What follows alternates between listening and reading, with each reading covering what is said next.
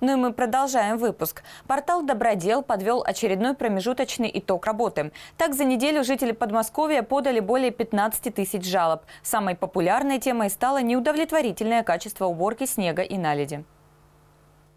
Более 4 тысяч жалоб поступило на плохое качество уборки дорог, а также снега и наледи на территории региона. Помимо этого, пользователи жаловались на протечки с кровли и неудовлетворительную очистку крыш от сосулек – почти 1300 обращений. В этом рейтинге наименьшее количество жалоб, а именно более 400 поступило на отлов бездомных животных. Но помимо жалоб на портале «Добродел» почти 9300 обращений пользователи отметили как решенные. Так, выполнили 2000 1340 жалоб, связанные с уборкой снега на придомовых территориях. Также выполнена очистка дорог. 932 жалобы. Более чем с 300 крыш устранена наледь и решены проблемы, связанные с неисправностью фонарей и размещением незаконной рекламы. 307 и 222 сообщения соответственно. Мария Антонова, телеканал ЛРТ.